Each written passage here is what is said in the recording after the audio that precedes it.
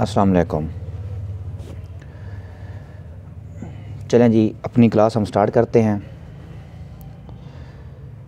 आज का जो हमारा टॉपिक है, वो साइक्लिक ग्रुप और लग्रेंज थ्योरम है।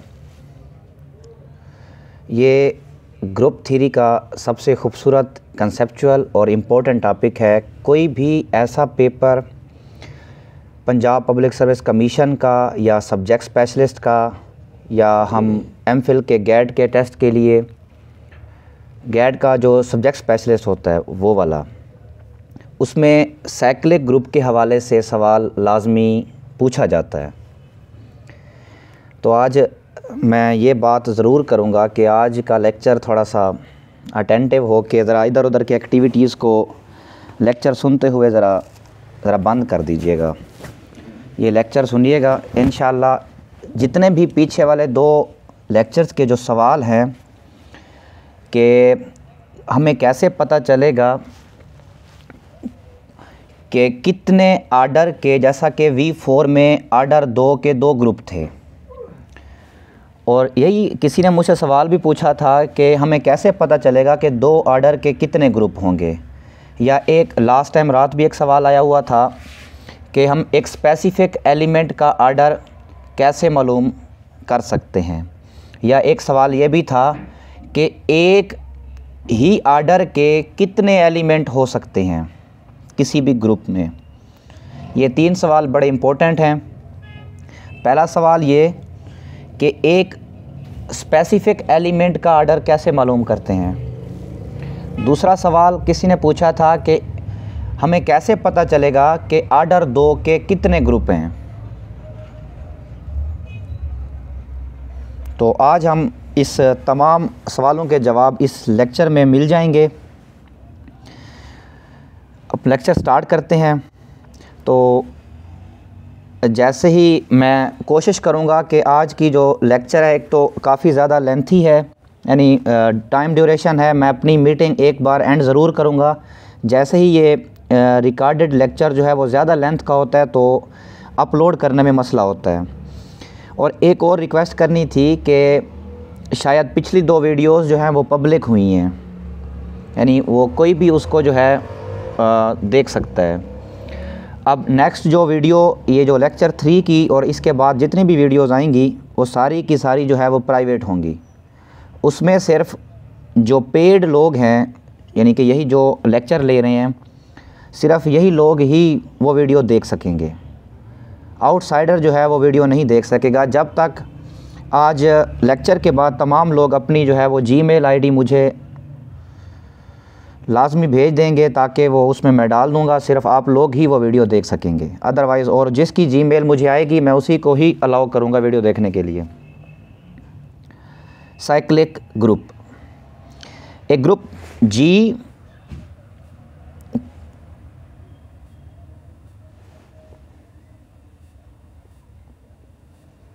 is said to be cyclic if every element of G is power of one and the same element A of G.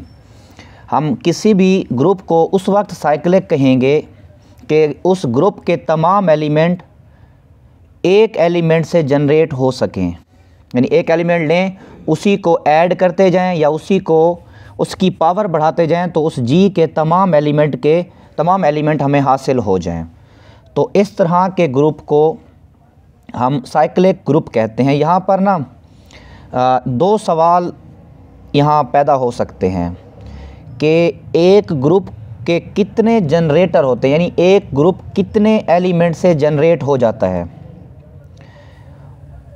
या क्या एक साइक्लिक ग्रुप के लिए सिर्फ़ एक ही जनरेटर हो सकता है? उससे ज़्यादा नहीं हो सकते। तो मैं यहीं पर ही इनका आंसर दे देता हूँ कि एक साइक्लिक ग्रुप के एक से ज़्यादा जनरेटर हो सकते हैं। और मज़ीद जो नेक्स्ट जितनी भी सारी बातें हैं, वो मैंने तकरीबन पॉसिबल तमाम जो भी हमारे पास बुक्स हैं ग्रुप थ्री की, वो तमाम को रीड आउट करके कोई ऐसी थीरम, कोई ऐसा एग्ज़ाम्पल, कोई ऐसी चीज़ मैंने नहीं छोड़ी जो मैंने उसको की पॉइंट ना बनाया हो। इन ये लेक्चर आप लोगों को बहुत ज़्यादा जो है, वो इंटरेस्टिंग लगेगा। इसमें आप लोगों ने, तमाम लोगों ने मुझे लेक्चर के बाद बताना ज़रूर है कि ये लेक्चर जो है, आप लोगों को समझ आया भी है या नहीं आया। The element which generate the group is called its generator ये मुझे किसी का मैसेज आया है कि आपकी आवाज़ हमें नहीं आ रही। तो काइंडली ज़रा मुझे ये मैसेज करके बता दें कि आवाज़ आप लोगों को सही पहुँच रही है या नहीं पहुँच रही। ताकि मैं जो है अपना लेक्चर कंटिन्यू करूँ।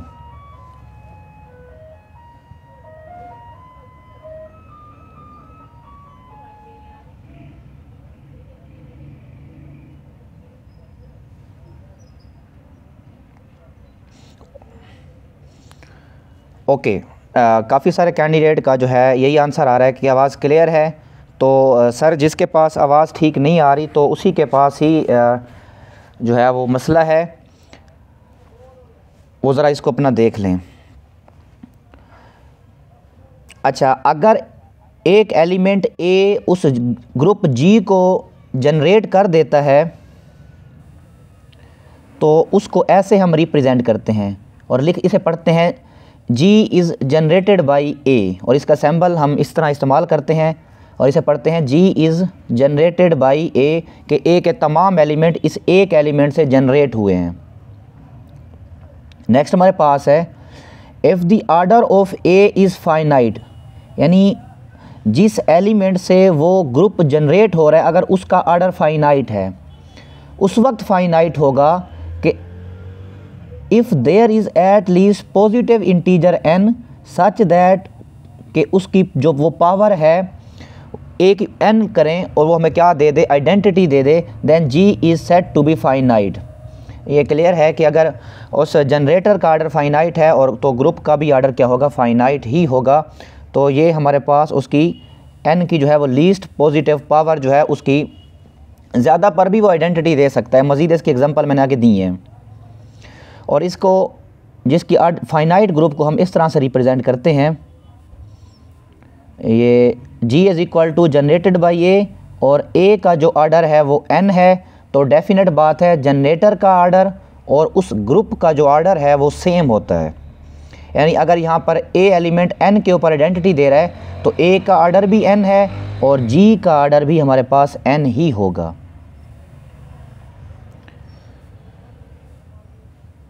अब मैंने एग्ज़ाम्पल दी है। मैंने अब फाइनाइट सैक्लिक ग्रुप की एग्ज़ाम्पल दी है पहले। फाइनाइट सैक्लिक तो ये मेरे पास पहली एग्ज़ाम्पल है। सी थ्री सी थ्री में, क्योंकि सी एन जो है वो अंडर मल्टीप्लिकेशन ग्रुप बनाता है। तो उसका मैंने एक पर्टिकुलर एग्जांपल लिए सी थ्री सी फोर भी ले सकते हैं सी फाइव भी ले सकते हैं सी सिक्स भी ले सकते हैं up to so on C n तक। ये फाइनाइट साइक्लिक ग्रुप होगा। One omega omega square C three क्योंकि तीन एलिमेंट हैं तो अब इसके कौन कौन से जनरेटर हैं? तो इसके जो जनरेटर हैं, एक ओमेगा है और एक ओमेगा स्केयर है। अब आपके, आपका सवाल होगा कि ओमेगा से हम ये तीनों एलिमेंट कैसे जनरेट करते हैं? अब ओमेगा को लेते हैं। एक बार ओमेगा की पावर वन लेंगे तो एज इट ओमेगा आ जाएगा। ओमेगा की पावर स्केयर करेंगे तो ओमेगा स्केयर दूसरा एलिमेंट आ जाएगा। दो एलिमेंट हमें मिल गए। ओमेगा की पावर क्यूब लेंगे तो हमारे पास ओमेगा क्यूब सी थ्री में जो है वो वन होता है।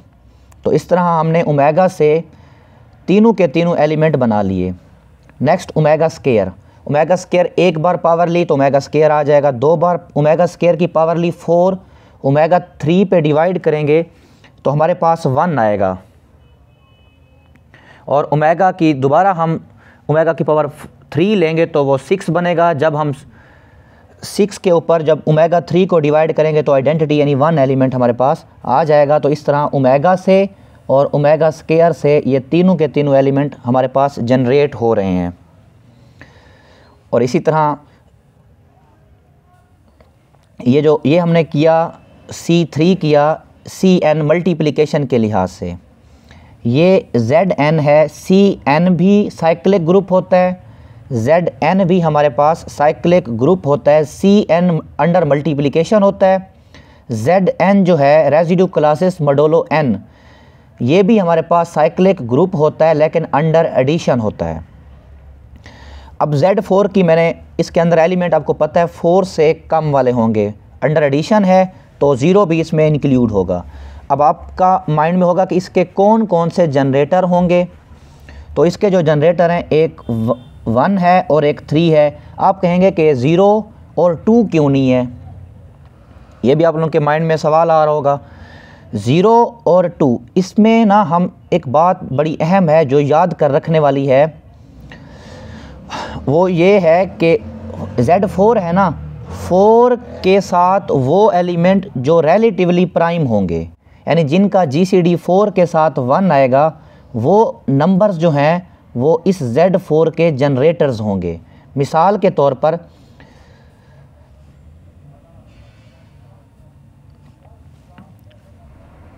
मिसाल के तौर पर फोर का वन के साथ जी सी डी लें तो वन आता है तो वन भी जेड फोर का जनरेटर होगा। और टू लेंगे फोर के साथ जी सी डी तो वो तो दो आता है। तो ये दो जो है, वो जेड फोर का, यानी फोर का जी सी डी जो है, वो वन नहीं आता रिलेटिवली प्राइम नहीं है। तो थ्री का हम फोर के साथ जी सी डी लेते हैं तो भी वन आता है, ये रिलेटिवली प्राइम है। तो वन और थ्री के साथ ये जेड फोर जो है, वो जनरेट हो जाता है। अब मैं इसको जनरेट करके दिखा देता हूँ। नेक्स्ट एग्जांपल मैं सिर्फ़ बताता जाऊँगा। मैं वन के साथ जेड फोर को जनरेट करता हूँ। वन को सिंगल पावर के साथ लिखेंगे तो एज इट वन आ जाएगा। वन को टू टाइम्स लिखेंगे वन प्लस वन हमारे पास हो जाएगा टू वही दूसरा एलिमेंट आ गया, फिर थ्री टाइम्स करेंगे फोर टाइम्स जब करेंगे तो फोर रेजिड्यू क्लासेस फोर है तो फोर पे डिवाइड करेंगे, हमारे पास रिमाइंडर जो है वो ज़ीरो आएगा और ज़ीरो इस सेट में मौजूद है। जैसे ही फाइव आएगा तो वो हमारे पास जब फोर पे डिवाइड करेंगे तो वन आएगा वन की रेजिड्यू क्लास बन जाएगी। तो इस तरह वन से भी ये सारे का सारा जेड फोर जनरेट हो सकता है थ्री के साथ चेक करते हैं। एक बार थ्री फिर आएगा सिक्स जब फोर पे डिवाइड करेंगे तो हमारे पास आंसर आ जाएगा टू इसमें मौजूद है। फिर जब थ्री करेंगे नाइन हो जाएगा फोर को करेंगे तो वन आ जाएगा। जब थ्री को फोर टाइम्स लिखेंगे तो ट्वेल्व बन जाएगा। जब थ्री पे डिवाइड करेंगे तो हमारे पास जो आंसर आएगा, वो रिमाइंडर जो आएगा, वो ज़ीरो आएगा और ज़ीरो इसके अंदर मौजूद है। तो सारे एलिमेंट जेड फोर के हम थ्री के से भी जनरेट कर सकते हैं। तो ये हमारे पास वन और थ्री इसके जनरेटर हैं जेड फोर के। ये थे फाइनाइट साइक्लिक ग्रुप थे। नेक्स्ट हमारे पास है इन्फिनिट साइक्लिक ग्रुप Z जो है वो यही ही हमारे पास इन्फिनिट साइक्लिक ग्रुप होता है। इसके जो जनरेटर हैं, वो एक वन है और एक माइनस वन है। मैंने जो कुछ दो चार मेंबर थे उस ग्रुप में, जब शुरू में मैंने स्टार्ट किया था तो मुझसे किसी ने ये सवाल भी पूछा था कि सर ये आप बता दें कि Z जो है, वो साइक्लिक तो चलो मान लेते हैं। आप ये बताएँ कि वन से पूरे Z को कैसे जनरेट कर सकते हैं? ये सवाल किसी ने मुझसे पूछा था तो मैंने फिर उसको कॉल करके ही उसे बताया था कि Z के जो जनरेटर वन और माइनस वन कैसे हैं तो मैं यहाँ पर भी आप लोगों को बता देता हूँ। आपके माइंड माइंड में आ रहा होगा कि वन को वन टाइम ऐड करेंगे तो टू आ जाएगा। तो आप, आपके माइंड में होगा कि माइनस टू कैसे वन से जनरेट करेंगे? तो मैं यहाँ खुद ही क्वेश्चन बना रहा हूँ और ख़ुद ही आप लोगों के क्वेश्चन का आंसर दे रहा हूँ। तो वन से माइनस टू कैसे जनरेट करेंगे? असल में इसकी जो कंस्ट्रक्शन है, इस ग्रुप की, वो इस फॉर्म में होती है। एन एक्स की फॉर्म में। एक्स हो, जो होता है, वो जेड का हमारे पास एलिमेंट होता है। अब यहाँ पर अगर हम टू जनरेट कर, करना चाह रहे हैं तो इस एक्स को हम माइनस टू के साथ मल्टीप्लाई करेंगे तो आंसर माइनस टू आ जाएगा। अगर माइनस थ्री जनरेट करना चाह रहे हैं तो एक्स को माइनस यानी एक्स का मतलब हमारे पास यहाँ वन है। ये एक्स हमारा जनरेटर है। यानी एक्स ये वन है और ये एन हमारा कोई भी ये इंटीजर है।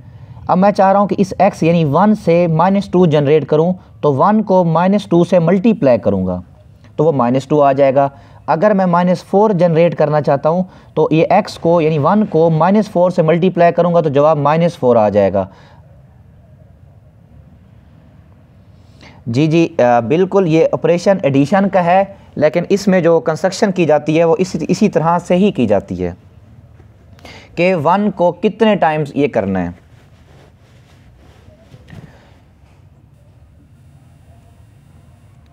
नेक्स्ट नॉन साइक्लिक ग्रुप कौन से ऐसे ग्रुप हैं जो नॉन साइक्लिक हैं?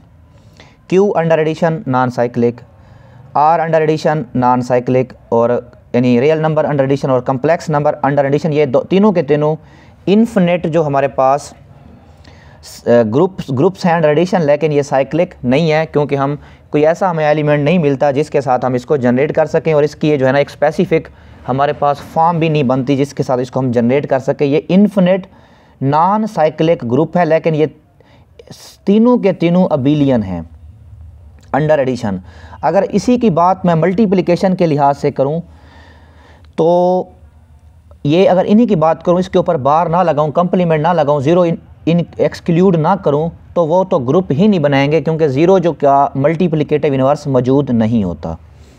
अब फाइनाइट पे आते हैं को, कोई ऐसा कौन सा ग्रुप है जो हो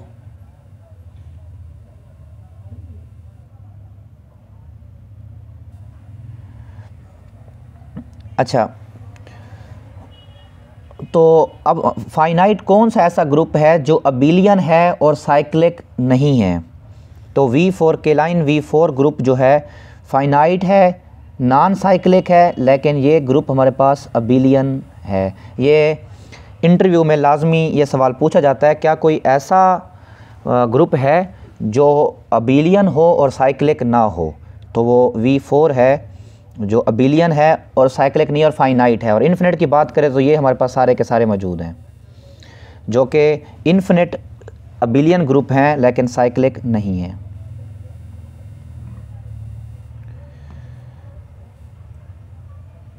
अब हमारे पास साइक्लिक ग्रुप के की पॉइंट्स मैंने यहाँ लिखे हैं।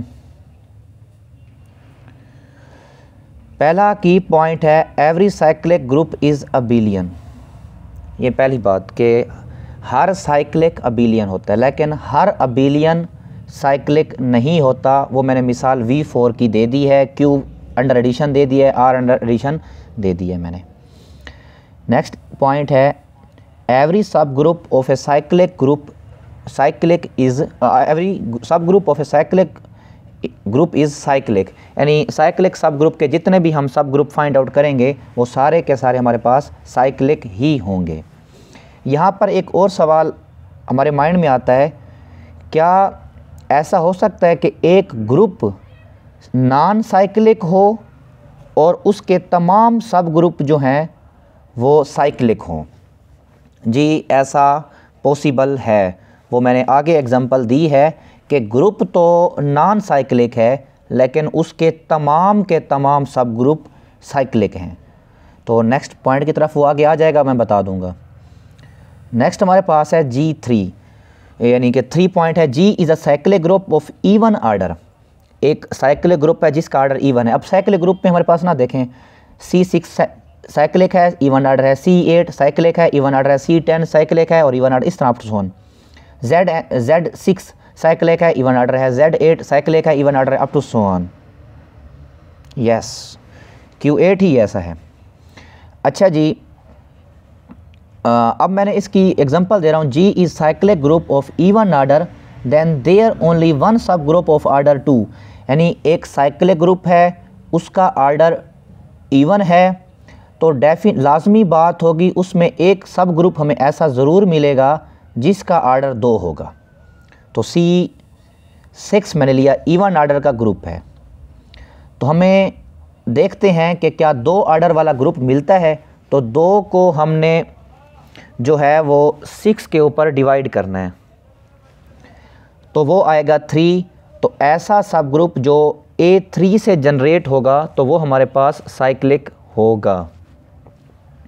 तो ई e और ए थ्री का आर्डर दो है और ये भी हमारे पास साइक्लिक सब ग्रुप है सी सिक्स का ये हमारे पास जो स्टेटमेंट थी वो प्रूफ हो चुकी है कि ऐसा ग्रुप जिसका, ऐसा साइक्लिक ग्रुप जिसका आर्डर इवन हो तो उसमें एक सब ग्रुप ऐसा ज़रूर मिलता है जिसका आर्डर टू होता है। नेक्स्ट हमारे पास पॉइंट की पॉइंट है। जी जनरेटेड बाई ए तो यहाँ से क्लियर बात होगी, अगर जी ए से जनरेट हो रहा है, ये लिखा हुआ है, अगर जी जो है वो ए से जनरेट हो रहा है, उस, उसका आर्डर एन है तो जी का आर्डर भी एन होगा। Then for each positive divider divisor d of n there is unique subgroup of order d तो यहाँ पे साइक्लिक ग्रुप की बात यह है कि अगर ग्रुप का आर्डर एन है और एन को कोई भी हमारे पास नंबर्स जो हैं वो डिवाइड करते हैं। उसके डिवाइज़र्स हैं, जितने भी हो सक, जितने भी हों।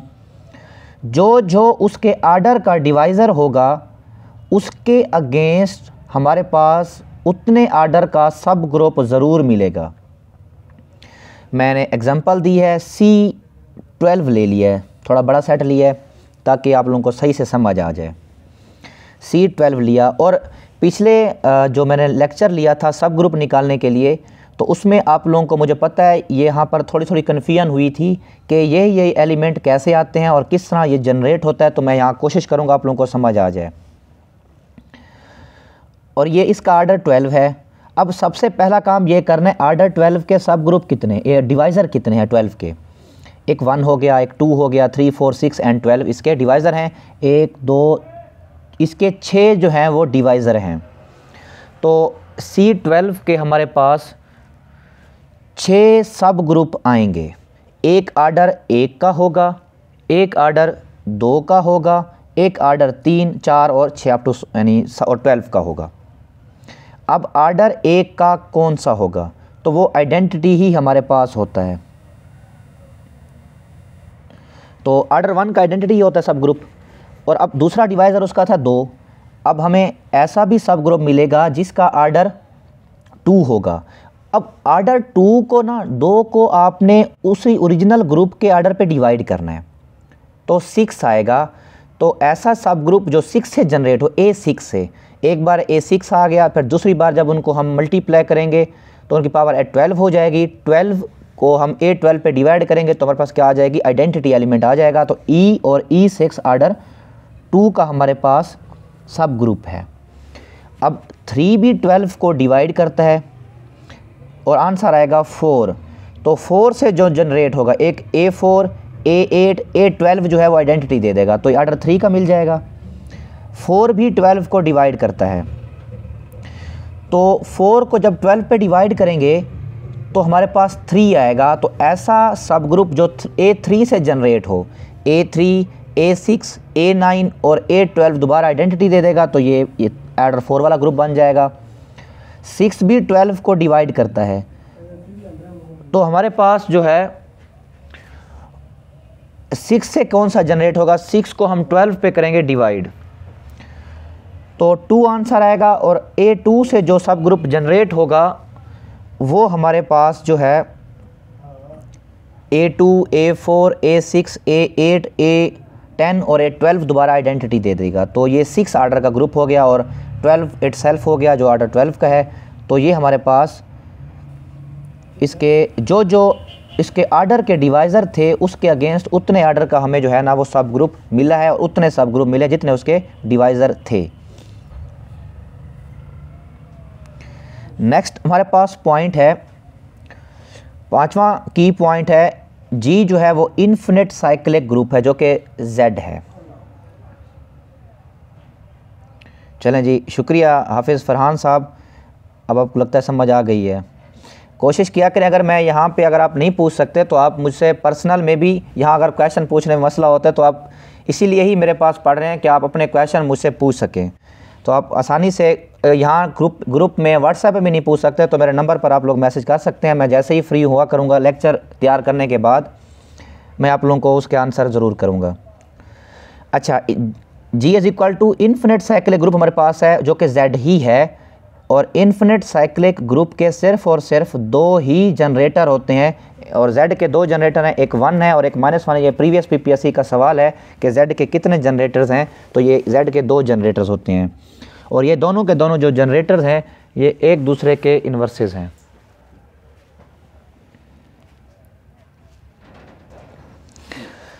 और इसके बाद हमारे पास की पॉइंट नंबर सिक्स है। इफ़ अगर जी का आर्डर हमारे पास एन है, अब हमारे पास ना एक ये अक्सर सवाल, आ जाता है और माइंड में भी आ रहा होगा सभी बंदों के, कि हमें ये तो चलो छोटे छोटे हैं। आर्डर फोर के पता चल जाता है कि कितने कितने हमारे पास उसके जनरेटर हैं। अगर एक ग्रुप का आर्डर हंड्रेड आ जाए तो उस हंड्रेड वाले के हम कैसे जो है ना नंबर्स चेक कर सकते हैं कि कितने उसके जनरेटर होंगे? ये तो बड़ा अहम सवाल है। तो अब मैं उसका फार्मूला और उसका जर्नल फार्मूला जो है आप लोगों को यहाँ पे किसी ग्रुप के जनरेटर्स की तादाद मालूम करने का हम मैं यहाँ पे फार्मूला आप लोगों को बताऊँगा। और तीन ये हमारे पास की पॉइंट हैं, इसी सिक्स के। ये बहुत ही इंपॉर्टेंट हैं, इसको ज़रा अच्छे से समझिएगा। अगर यहाँ पर समझ ना आए तो यहीं पर ही मुझे मैसेज कर दीजिएगा ताकि मैं आप लोगों को इधर ही समझा दूँ, बाद में मसला ना हो। इफ़ जी का आर्डर हमारे पास एन है। कोई भी जी का आर्डर हो सकता है, लेकिन होना फाइनाइट चाहिए। ये पहली बात।